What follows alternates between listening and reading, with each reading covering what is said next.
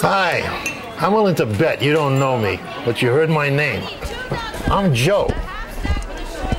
I've been in the restaurant business a long time, and I gotta tell you, the key to my success, word of mouth.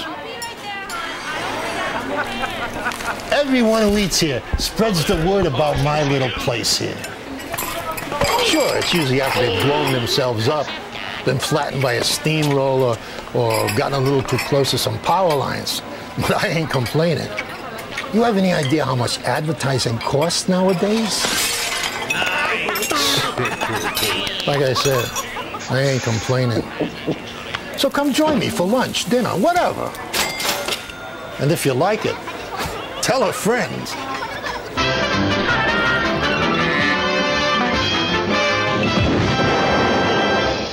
Order up.